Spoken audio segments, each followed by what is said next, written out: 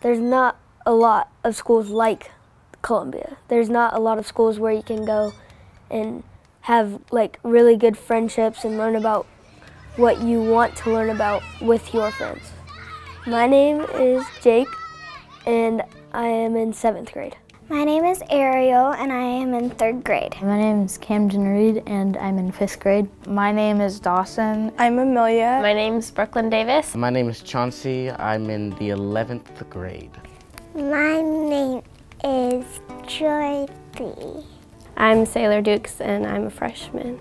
I'm in Mrs. Davis and Mrs. Roberts' class. Jared Doyle. Benjamin Nagel. Cameron Weatherald. Brett Houston, and I am a sophomore this year. I'm Typhoon. Tong Prikup. I'm from Thailand. I'm a sophomore. One of my favorite things about going to school here is the, uh, the chance to interact with your teachers. So there's always opportunity to you know, get help and be successful. I used to go to a public school, and I think the kids here are nicer. I like being able to like meet all the people that come here because they're all really friendly.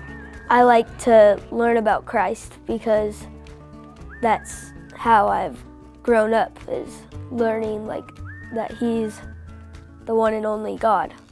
Uh, one of my favorite things at this school is soccer and I like it because I get I'll be able to play in middle school and high school.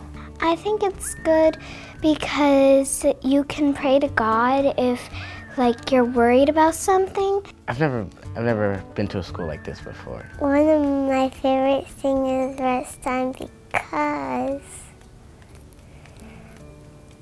hmm, it's just my favorite thing in the classroom. I really like the environment here. Like I think it's different than any other school. The great thing about Columbia is it's a small family environment and they really focus on education and values, whereas public school doesn't. Uh, if I wasn't here, I'd be goofing off a lot. It's just all really fun. I think it's just it's so much fun being here. I I don't think a lot of people can say that about school, but I love coming here.